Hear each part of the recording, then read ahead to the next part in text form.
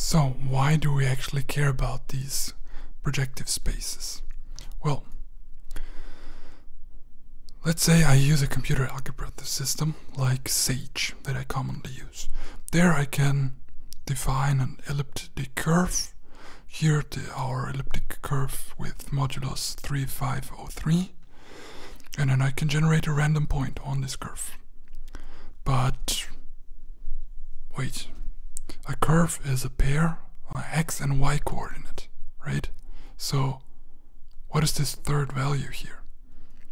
Well, turns out the common representation of curve points actually has three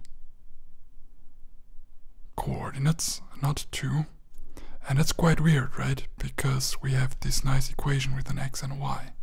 So, in order to understand where this comes from, which also has something to do with where the point at infinity comes from, we first have to look into projective space.